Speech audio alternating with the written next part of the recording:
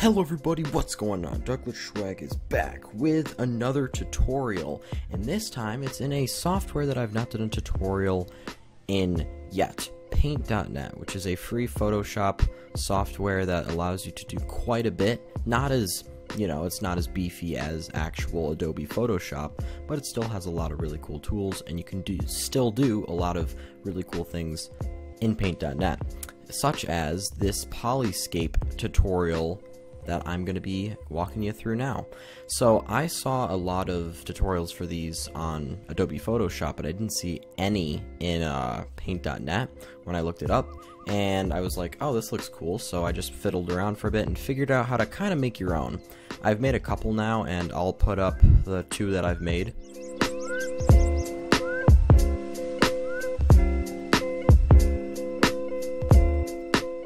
I personally think the first one looks really nice. The second one I'm just making to test out a different design, and it's the one you see on screen now. So we're going to kind of follow this format in uh, this tutorial. But uh, yeah, so let's go. Okay, so we're going to start with a new file, going to File New, and I'm going to actually make this the size of my desktop background, which is widescreen, so it's 2048 by 1152. And boom, new file size or new project. So make sure you make the resolution whatever you want to the same resolution as whatever you want to end up using this for, so the resolution of any monitor that you're using. So we're going to start off by going and changing the background to a specific gradient color. So you can either press F8 or click the color wheel in the top left corner or top right corner, and you get these color this color selection. I think to switch it up a bit, I'm going to do blue and mm, let's see here, blue and green. Yeah, I think blue and green is going to look kind of nice. And we're going to go into tools, select the gradient tool, and I'm going to use this uh, radial, which kind of creates this shape coming out. Uh, this yeah, this radial center. So once you have your gradient positioned how you like it, you can hit enter and that will just set the gradient as is. Alright, so now that you have your background gradient set, you can create a new layer in your layer window, and this is where we're going to be drawing our shapes. So in this tutorial, I'm going to be doing, let's see here. Okay, in this tutorial, I'm actually going to be taking a different direction than my other ones, and I'm going to be doing a hexagon styled uh, design, poly polyscape design. So a couple settings you want to make sure you have selected up in this top toolbar. You want to make sure, of course, you have the shapes setting. You want to be in hexagon. Uh, this is very important. You want to have it draw a filled shape. Brush width doesn't really matter since it's filling it with a solid color. And yep, this should be solid color. So on this layer, uh, you're going to want to be drawing your shapes that you're going to end up having your image be inside of.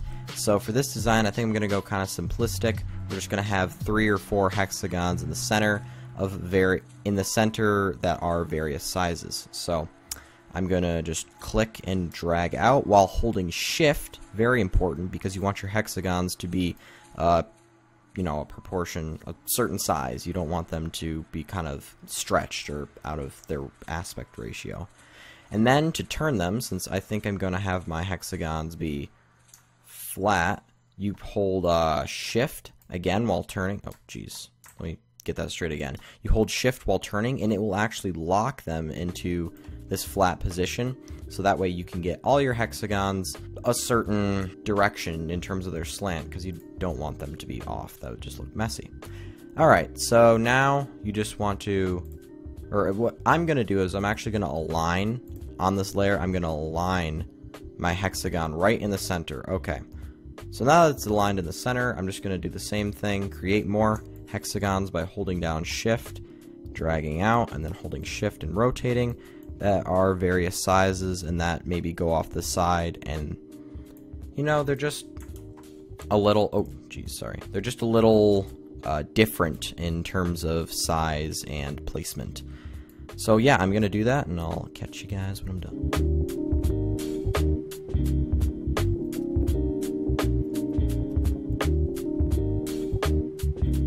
Okay, so I have this kind of strange design going on here. There's no no real um actually there is kind of a pattern in the way it's set up, but uh, now I'm actually going to once again go to Object Align, which I'll have the plugin pack that I'm using listed in the description since this is a certain plugin that I don't think comes with uh, Paint.net.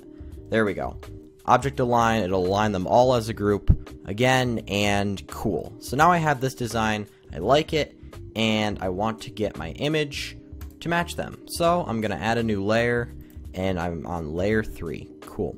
So this is where you want to select your image. I already have one selected called New York, so I'm just going to copy it and paste it onto layer 3. And Control V, right. Keep canvas size. If it gives you this option, don't expand canvas. You want to keep the canvas size and just drag and resize your picture. It's usually a uh, good rule of thumb is that it's way, way better to have higher resolution pictures uh, than what you're working in than lower resolution because if you're trying to expand lower re resolution pictures to fit your frame, then you're probably going to run into pixelation problems.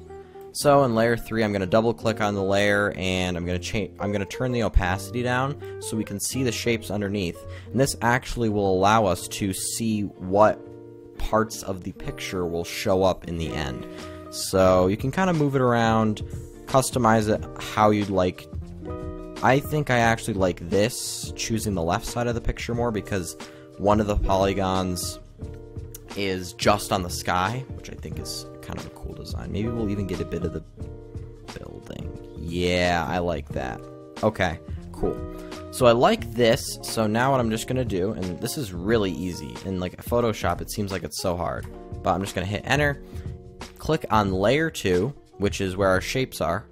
Go to tool, select magic wand, hold control and shift while clicking in the area of one of the polygons, and it will select all the polygons, re-click on layer 3, where your picture is, and it will keep the mask.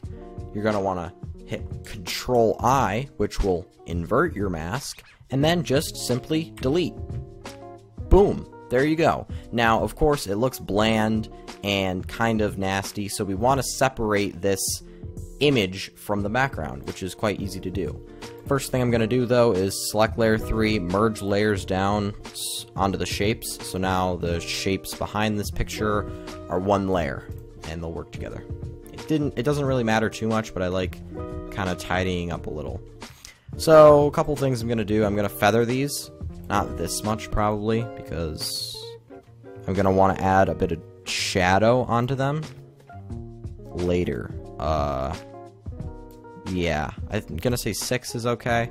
And then I'm gonna want to maybe use some drop shadow. This is where it kind of gets separated from. Alright. And there's a polyscaped image. Um, as you can see, it's pretty easy to do in Paint.net, but you can totally in make it your own thing. When you do this, I'm going to actually add a couple things in as well, just to continue, but this is this. If you want to click off now and be done with this, you can, but I'm just going to add a couple things.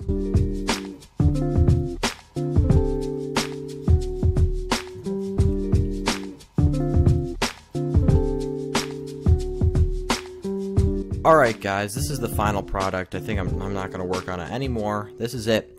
I added just a couple things. I added a little texture in the background, uh, kind of abstract line art design. Added a little watermark in the bottom corner, just so you know, if you know people don't steal it and stuff like that. If I ever, I don't know, but pretty much this is going to be what you're creating. I thought this looks really nice. It shows up really well on my monitor background, and I have a lot of fun making them. So yeah, this is it. If you had any suggestions for future tutorials in Paint.net, please leave a suggestion below. I need ideas, and thank you guys for watching this tutorial. If you enjoyed, please leave a like, subscribe, do whatever you want to, and I'll see you in the next video.